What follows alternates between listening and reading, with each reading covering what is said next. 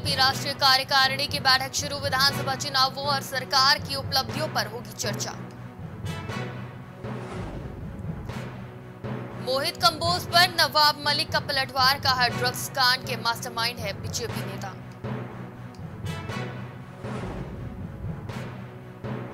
गोवा में तीन दिवसीय मैरीटाइम कॉन्क्लेव शुरू, हिंद महासागर क्षेत्र के 12 नौसेना प्रमुख ले रहे हिस्सा। महाराष्ट्र में पूर्व गृह मंत्री अनिल देशमुख की और बढ़ेंगी मुश्किलें, कस्टडी लेने की तैयारी हुई सीबीआई। देश में पिछले 24 घंटे में आए करीब दस नए कोरोना मामले 526 लोगों की मौत।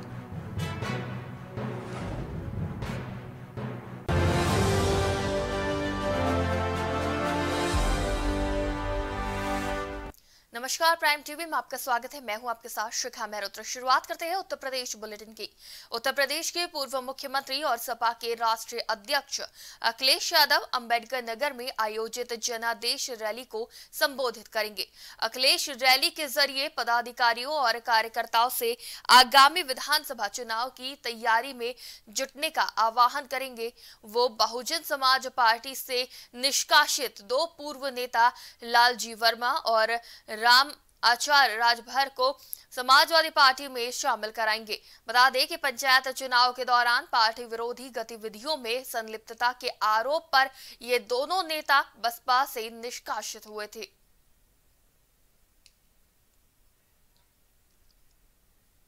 दिवाली के बाद से प्रदूषण का लेवल अचानक से बहुत बढ़ गया है। दिवाली पर पटाखों से फैले धुएँ ने आसमान में स्मॉग की मोटी चादर बिछा दी है।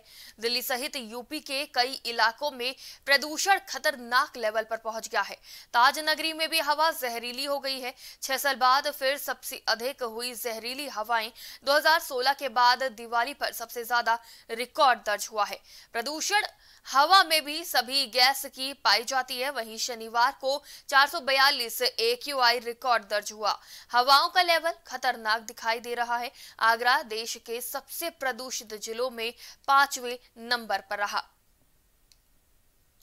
तो प्रदूषण का स्तर लगातार बढ़ता हुआ नज़र आ रहा है और दिवाली की रात से ही ये सबसे ऊपर पहुँच रहा है, यानी रिकॉर्ड तोड़ रहा है और ताज नगरी आगरा की बात करें तो वहाँ पे भी ये भयानक स्तर पर पहुँचता हुआ दिखाई दे रहा है।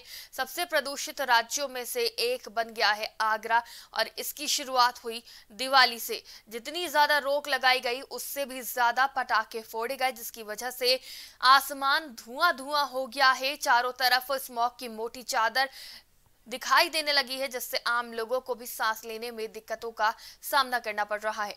रुक करते अगली खबर की तरफ़ मुख्यमंत्री योगी आदित्यनाथ ने केंद्रीय कारागार महोला, इटावा के नारियल फोड़कर और रिबन काट कर उद्घाटन किया। सीएम योगी ने उद्घाटन के बाद केंद्रीय कारागार परिसर का निरीक्षण करते हुए वहाँ उपस्थित अधिकारियों से जेल के मॉड्यूल ढांचे से जानकारी प्राप्त की।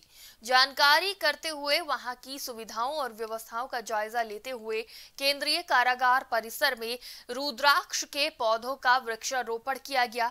उनके साथ राज्य मंत्री जय कुमार सिंह, जैकी और अपर मुख्य सचिव अवनीश कुमार अवस्थी ने भी केंद्रीय कारागार परिसर में वृक्षारोपण किया।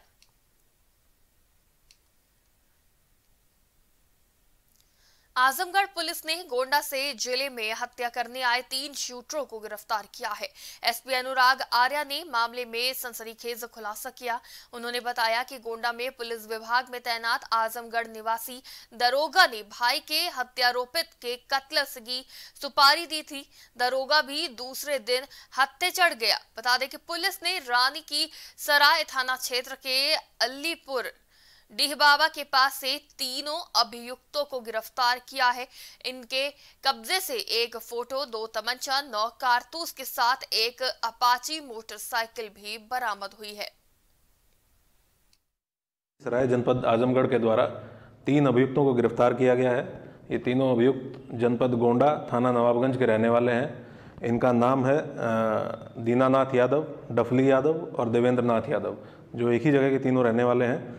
इनसे पूछताछ में ये पता चला है कि ये तीनों एक मर्डर करने के लिए इस जनपद में आए थे। इनके पास से दो अवैध तमंचे तीन 303 बोर के कारतूस और छः कारतूस 315 बोर एक फ़ोटो एक मोटरसाइकिल अपाचे और लगभग दो हज़ार रुपये बरामद हुए हैं। पूछताछ में इन, इनके द्वारा बताया गया है कि जनपद गोंडा में एक सब इंस्पेक्टर हैं अखिलेश यादव जो ग्राम अलीपुर थाना रानी की सराय के रहने वाले हैं और ये वर्तमान में थाना कोडिया फतेहपुर ज़िले के किशनपुर थाना क्षेत्र के इकौरा गाँव में हिंदू मुस्लिम का नाम देकर लोगों को उकसाने वालों के खिलाफ पुलिस ने मुकदमा दर्ज कर बड़ी कार्रवाई की है, जिसमें कुछ हिंदू संगठन के कार्यकर्ताओं पर भी मुकदमा दर्ज किया गया है। जिसका वीडियो वायरल होने के बाद पुलिस ने गाँव को छावनी में तब्दील कर दिया। बता दें कि दो दिन पूर्व किशनपुर थाना क्षेत्र के इकौरा गाँव में हुए विवाद में पुलिस ने दोनों पक्षों पर मुकदमा दर्ज करते हुए हिंदू संगठन के कार्यकर्ताओं पर भी मुकदमा दर्ज किया था। जिसका वीडियो सोशल मीडिया में वायरल कर माहौल को बिगाड़ने का प्रयास किया गया है। जिसको देखते हुए पुलिस फोर्स ने इकौरा गाँव निवासी राहुल चौधरी के घर के बगल में मुस्लिम समुदाय के लोगों की मजार है। ग्राम इकौरा थाना किशनपुर में मजार बहुत पुरानी बनी हुई है। चबूतरा 2014 में बढ़ाकर बनाया गया था। राहुल चौधरी के द्वारा साइड की दीवारों पर नारे लिखे गए हैं। 145 सीआरपीसी की रिपोर्ट प्रेषित की गई है। दोनों पक्षों के विरुद्ध निरोधात्मक कार्रवाई की गई है। शांति व्यवस्था बनी रहे। दोनों पक्षों द्वारा धार्मिक भावना फैलाने के लिए वीडियो वायरल किया गया है, जिस पर थाना स्थानीय ने मुकदमा पंजीकृत बुलंदशहर में भी तेज रफ्तार का कहर देखने को मिला। तेज रफ्तार दो बाइक की आपस में जोरदार टक्कर हो गई। इसके बाद टक्कर में पाँच लोग गंभीर रूप से घायल हो गए। घायलों को इलाज के लिए अस्पताल में भर्ती करा दिया गया है, जहाँ से गंभीर लोगों की हालत को देखते हुए हायर सेंटर के लिए उन्हें रेफर कर दिया गया है। पाँच लोग गंभीर रूप से घायल हो गए हैं। दो बाइक की जोरदार भिड़ंत तो हो गई आपस में, जिसके बाद पाँच लोग गंभीर रूप से घायल हो गए हैं, जिसके बाद उन्हें हायर सेंटर रेफर कर दिया गया है गंभीर हालत को देखते हुए। वहीं बुलंदशहर की खुर्जियानगर कोतवाली क्षेत्र में संदिग्ध परिस्थितियों में विवाहिता की मौत हो गई। बता दें कि विवाहिता का फंदे पर लटका हुआ शव मिला। वहीं मायका पक्ष ने ससुराल जनों पर फांसी लगाकर हत्या करने का आरोप लगाया है।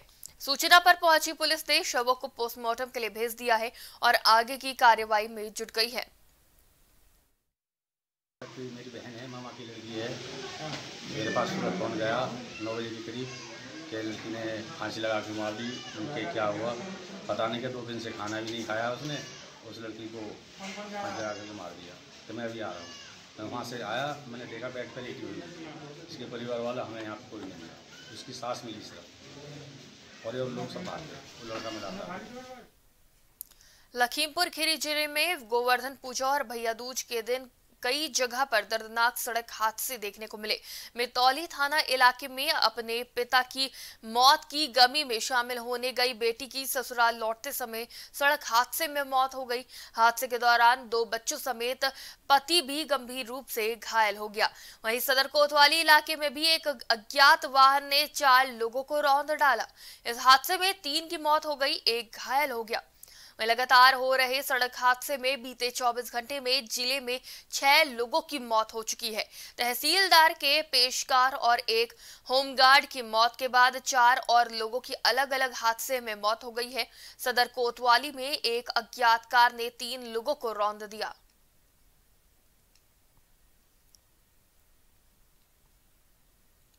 रायबरेली ज़िले की कानून व्यवस्था ध्वस्त होती नज़र आ रही है। आम नागरिकों और व्यापारियों के साथ साथ पत्रकारों के साथ भी खुलेआम दबंग मारपीट कर रहे हैं। बता दें कि विवाद की घटना को कवरेज करने गए पत्रकार पर दर्जनों की संख्या में ग्रामीणों ने हमला कर दिया और मोटरसाइकिल की चाबी और मोबाइल फ़ोन भी ले लिया।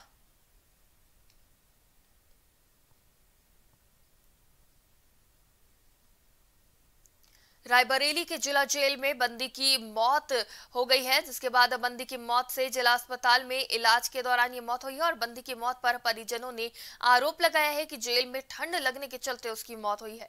हालाँकि जेलर ने सभी आरोपों को सिरे से खारिज करते हुए मौत का कारण उसका अक्सर बीमार रहना बताया है। जेलर के मुताबिक अमेठी ज़िले का रहने वाला शादाब दो हज़ार बीस से निरुद्ध था।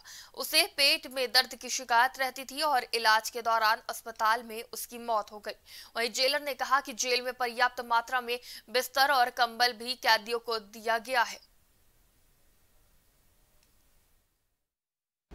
किसी बंदी की मौत जेल में नहीं बल्कि एक शादाब पुत्र अशफाक निवासी मुशर्रफ नगर जायस थाना जायस अमेठी था जि, जिसकी उम्र लगभग 25 वर्ष थी।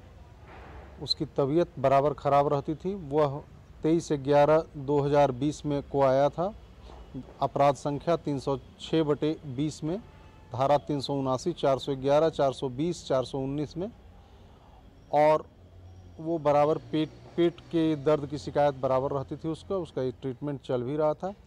कल उसकी तबीयत खराब हुई थी, उसे जिला अस्पताल भेजा गया। जिला अस्पताल में बदायूं के आलापुर थाना क्षेत्र में प्रेम प्रसंग के चलते युवती की गोली मारकर हत्या कर दी गई। दरअसल युवती अपने घर से जेवरात और नकदी लेकर गायब हो गई थी और उसके प्रेमी ने ही उसे गोली मारकर मौत के घाट उतार दिया। प्रेमिका को मौत के घाट उतारने के बाद प्रेमी फरार हो गया। मामले में पुलिस ने कार्रवाई करते हुए मामले का खुलासा किया है। पास का है, भूपेंद्र नाम है। प्रेम संबंधों का मामला प्रकाश में आया है। आज उसका खुलासा हुआ है।